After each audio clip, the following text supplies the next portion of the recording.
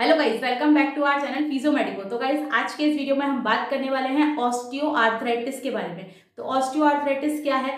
Osteo arthritis को हम D generative joint disease भी बोलते हैं। क्यों बोलते हैं?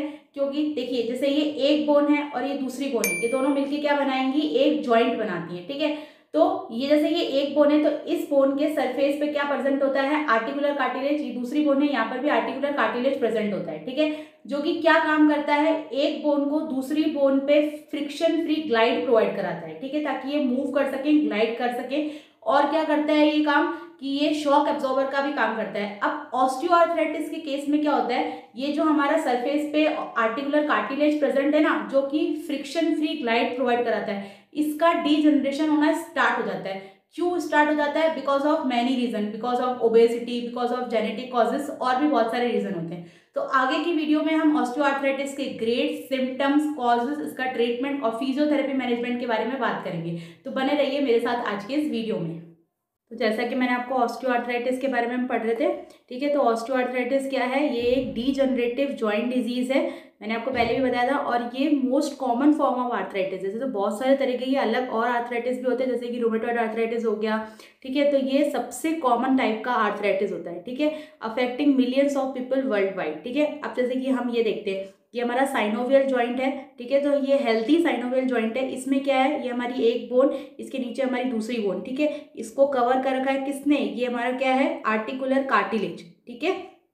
ये लिखा है यहाँ पे आर्टिकुलर कार्टिलेज ठीक है? और इधर क्या है, ये हमारी साइनोवियल मेम्ब्रेन है, जो कि क्या सीक्रेट करती है? साइनोवियल फ्लूइड सीक्रेट करती है, ठीक है? तो ये क्या होता है, ये जो आर्टी ये जो कार्टिलेज होता है, ये क्या करता है? एक बोन को दूसरी बोन पे स्लाइड मतलब मूव करने में ग्लाइड करने में हेल्प करता है। बट देखिए, ये ऑस्टियोआर्थराइटिस का केस है, इसमें क्या होता है, ये जो कार्टिलेज प्रेजेंट है ना, हमारा कार्टिलेज का क्या होता है? डिस्ट्रक्शन होता है। कार्टिलेज का डिस्ट्रक्शन होता है तो ये एक बोन होता है, दूसरी बोन पे क्या करेगी? रब रब करेगी तो क्या होगा? फ्रिक्शन जनरेट होगा, और उसकी वजह से क्या होगा? पेन डेवलप होता है पेशेंट को, ठीक है? उसके बाद क्या होता है? It occurs when the protective cartilage that cushion the end of the bones wear down over time जैसे कि मैंने आपको पहले ही बताया कि टाइम के अकॉर्डिंग या एज के अकॉर्डिंग ये जो आर्टिकुलर कार्टिलेज होता है जो कि कुशन का काम करता है, ये क्या होता है? इसका डी जनरेशन होना स्टार्ट हो जाता है, ठीक है? जो कि पेन कॉज करता है, ठीक है? All through the osteoarthritis can damage any joint मतलब जो ऑस्टियोआर्थराइटिस होता है, वो किसी भी ज्वाइंट को अफेक्ट कर सकता है, लेकिन मोस्ट कॉमनली ये हमारे वेट बेयरिंग ज्वाइंट जो कि कौन से होते हैं? हिप ज्वाइंट और नी ज्वाइंट को मोस्ट कॉमनली अफेक्ट करता है, ठीक है? अब यहाँ पे क्या दे रखा है? ऑस्टियोआर्थराइटिस की ग्रेटिंग्स दिखा रखे हैं।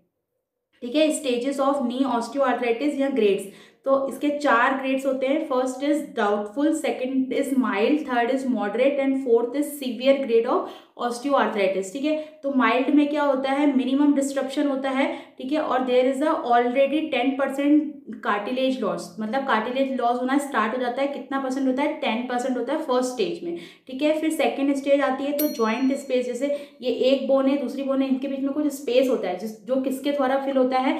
साइनोवियल फ्लूड के द्वारा. तो इस डिज़ीज़ में क्या होता है ऑस्टियोआर्थराइटिस में क्या होता है, जो इनके ज्वाइंट का बीच का स्पेस है ना, ये कम होने लग जाता है धीरे धीरे आप देख सकते हैं, पहले कितना स्पेस था और बाद में धीरे धीरे ज्वाइंट स्पेस कम होने लग जाता है। Cartilage to begin break down cartilage break होता जा रहा है, ठीक है? और अकर्स ऑफ़ ऑस्टियोफाइट्स ऑस्टियोफाइट्स क्या होता है ऑस्टियोफाइट्स को हम बोन्स पर भी बोलते हैं। न्यू बोन ग्रोथ ठीक है या बोनी ग्रोथ होती है, ठीक है, कहाँ पे? एंड ऑफ़ द बोन पर, ठीक है? उसके बाद आती है हमारी थर्ड स्टेज जो कि कौन सी होती है? मॉडरेट लेवल की स्टेज इसमें क्या होता है? मॉडरेट ज्वाइंट स्पेस रिडक्शन मतलब ज्वाइंट स्पेस और कम हो जाता है, ठीक है? और gaps in the cartilage can expand until they reach the bone मतलब जो एक बोन होती है ना, वो दूसरी बोन से टकराने लग जाती है।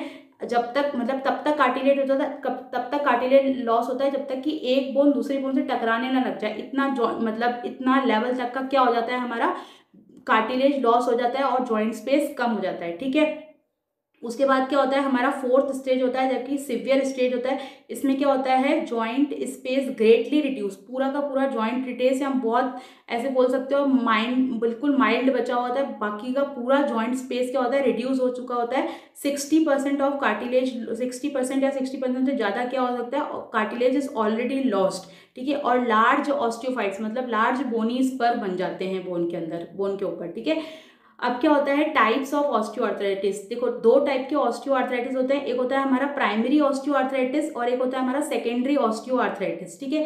प्राइमरी क्या होता है, जिसमें जिसका कोई कॉज हमको ना पता हो, ठीक है? यानी कि ईडियोपैथिक ईडियोपैथिक का क्या होता है, जिसका कोई कॉज नहीं पता हो, लेकिन मोर कॉमनली ऐसा बोला जाता है कि ये जेनेटिकली होता है। जैसे अगर मेरे फादर को होगा तो मेरे उससे, उनसे मेरे को आएगा तो मतलब ये जेनेटिकली होगा, पीढ़ी दर पीढ़ी चलेगा, ठीक है? मोर कॉमनली ऐसा बोला जाता है।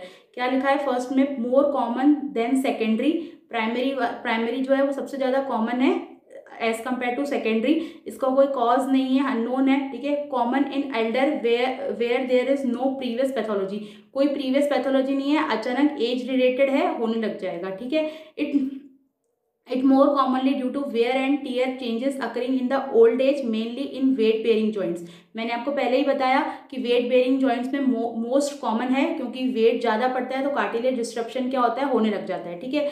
उसके बाद सेकेंडरी ऑस्टियोआर्थराइटिस है सेकेंडरी ऑस्टियोआर्थराइटिस में क्या होगा, इसके पीछे कोई कारण होगा। जैसे इसका, पहले वाले का क्या था, हमको कॉज पता ही नहीं था, लेकिन दूसरे वाले के पीछे कोई ना कोई रीज़न होगा, कोई नोन रीज़न होगा, उसकी वजह से क्या होगा कार्टिलेज का डिस्ट्रप्शन होना स्टार्ट हो जाएगा, या फिर डीजनरेशन होना स्टार्ट हो जाएगा। अब क्या हो सकता है injury of the joint joint की इंजरी हो सकती है आर ए मतलब ऑस्टियो आर्थराइटिस ठीक है? और सी टी एच यानी कि कंजनाइटल डिसलोकेशन ऑफ़ हिप हो सकता है। ठीक है ओबेसिटी में होता है बहुत ज़्यादा क्योंकि जो ओबेस लोग होते हैं, जो मोटे लोग होते हैं, उनके, उनका जो अपर बॉडी वेट होता है वो बहुत ज़्यादा होता है। तो उनका सारा प्रेशर कहाँ पड़ता है? हमारे वेट बेरिंग जॉइंट्स के अंदर। वेट बेरिंग जॉइंट्स मतलब नी जॉइंट हिप जॉइंट इसलिए फिर हम उनको, है ना वेट मैनेजमेंट का भी बोलते हैं कि मतलब अपना वेट रिड्यूस करो ताकि वेट कम आए नी के ऊपर। ठीक है? उसके बाद क्या होता है इनएक्टिविटी अगर पर्सन कुछ भी एक्टिविटी नहीं कर रहा है, ठीक है? तो इसलिए हम बोलते हैं ना कि आपको एक्टिव रहना चाहिए योगा करना चाहिए जिम जाना चाहिए, ठीक है? तो इनएक्टिविटी की वजह से और हाइपोथायराइटिज्म इसके कॉजेज हो सकते हैं। किसके? सेकेंडरी ऑस्टियोआर्थराइटिस के। ठीक है? अब हम देखते हैं रिस्क फैक्टर रिस्क फैक्टर मतलब कि कौन से ऐसी चीज़ें हैं जिनकी वजह से ऑस्टियोआर्थराइटिस होने की संभावना बढ़ जाती है।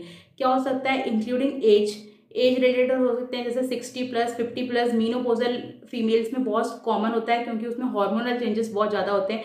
ठीक है, उसके बाद फीमेल जेंडर फीमेल जेंडर में क्यों बोला? मैंने आपको अभी भी बताया फीमेल जेंडर में कॉमन क्यों होता है? क्योंकि उनमें मीनोपोजल मीनोपोजल मोस्ट कॉमन होता है। क्यों? क्योंकि उनमें क्या होता है? हार्मोनल चेंजेस क्या होते हैं? बहुत ज़्यादा होते हैं पोस्ट मीनोपोजल फीमेल्स के अंदर। ठीक है, उसके बाद ओबेसिटी का मैंने आपको बताया एनाटॉमिकल फैक्टर्स हो सकते हैं, जैसे जेनेटिक ठीक है, उसके बाद है ना मसल वीकनेस अगर किसी की लोअर लिम मसल वीकनेस है, जैसे कि कोआर्ट्स की वीकनेस है या फिर हैम्स की वीकनेस है तो उनमें भी बहुत कॉमन होता है और किसी प्रकार की जॉइंट इंजरी हो सकती है तो।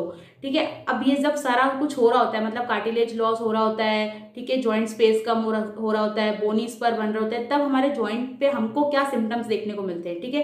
तो हमको क्या होगा पेन होगा लिमिटेशन इन द मूवमेंट ठीक है लिमिटेशन मूवमेंट मतलब मूवमेंट करने में प्रॉब्लम आएगी, जितना range of motion range of motion है जॉइंट का वो रिड्यूस हो जाएगा पेन होगा पेशेंट को स्टिफनेस होगा पेशेंट को, ठीक है पेन होगा limitation in the movement stiffness deformity develop हो जाती है डिफॉर्मिटी क्या होता है पेशेंट पूरा अपना, अगर नी में है तो नी जॉइंट पूरा तरीके से सीधा नहीं कर पाएगा एक्सटेंड नहीं कर पाएगा कुछ लेवल तक कुछ डिग्री का फ्लैक्शन उसमें प्रेजेंट होगा, ठीक है? तो उसको बोलते हैं क्या डिफॉर्मिटी प्रेजेंट होगी पेशेंट में कोई ना कोई, ठीक है? उसके बाद मसल वीकनेस ठीक है? मोस्ट कॉमनली मसल वीकनेस कौन, किस, कौन सी मसल की होती? है कॉर्ड्रिसेप्स मसल की, ठीक है? उसके बाद क्रिपिटस साउंड मतलब पेशेंट आपको बोलेगा कि मेरे को पैर मतलब पैर में से ना कट कट की आवाज़ आती है। तो क्रिपिटस साउंड वो क्यों होता है? जब एक बोन दूसरी बोन पर टकराती है ना तो उसकी वजह से क्रिपिटस साउंड डेवलप होता है, ठीक है? उसके बाद ज्वाइंट इफ्यूजन मतलब फ्लूड भर सकता है कभी कभार ज्वाइंट में और डिफिकल्टी इन वॉकिंग मतलब पेशेंट को एम्बुलेशन के टाइम पे बहुत पेन होगा ठीक है? उसके बाद इन्वेस्टिगेशन हम क्या करा सकते हैं, ठीक है? तो हम पेशेंट का अगर सपोज़ नी या हिप में है तो हम क्या करेंगे एक्सरे करवाएँगे उसका रेडियोलॉजी तो उसमें हमको क्या देखने को मिलेगा? कार्टिलेज लॉस देखने को मिलेगा, ठीक है? कार्टिलेज डॉट ऑस्टियोफाइट्स मतलब ऑस्टियोफाइट्स मतलब बोनी स्पर बोनी स्पर हमको देखने को मिल सकते हैं उस पेशेंट के अंदर, ठीक है? और क्या देखने को मिलता है? जॉइंट स्पेस रिड्यूस्ड हो जाता है, वो भी हमको देखने को मिलता है, ठीक है? अब क्या होता है, इसका मैनेजमेंट क्या हो सकता है? इसका मैनेजमेंट दो टाइप के हो सकता है, या तो फार्माकोलॉजिकल मैनेजमेंट या फिर हमारा फिजियोथेरेपी मैनेजमेंट ठीक है? तो फार्माकोलॉजिकल मैनेजमेंट में क्या होता है एनसेट्स देते हैं पेशेंट को। एनसेट मतलब non steroidal anti inflammatory drugs ठीक है? उसके बाद क्या होगा पेन रिड्यूस के लिए, उसके बाद इंट्रा आर्टिकुलर इंजेक्शंस लगा सकते हैं जॉइंट स्पेस को बनाए रखने के लिए, थोड़े टाइम तक के लिए। और क्या दे सकते हैं? Disease modifying osteoarthritis drugs भी हम पेशेंट को दे सकते हैं, ठीक है? अब एज अ फिजियोथेरेपिस्ट हमारी क्या ड्यूटी बनती है? ऑस्टियो आर्थराइटिस के पेशेंट के लिए हमको जानना बहुत ज़रूरी है, ठीक है? तो ऑस्टियो आर्थराइटिस में हम सबसे पहले क्या करेंगे? पेशेंट का अगर हम उसका मतलब प्रोटोकॉल करवा रहे हैं उसको हम उसको मैनेजमेंट करा रहे हैं फिजियोथेरेपी तो सबसे पहले हम वार्म अप से स्टार्ट करेंगे पेशेंट का। ठीक है वार्म अप के बाद हम क्या करेंगे? जैसे कि मैंने आपको पहले ही बताया था कि क्वाड्रिसेप मसल की वीकनेस होती है बहुत।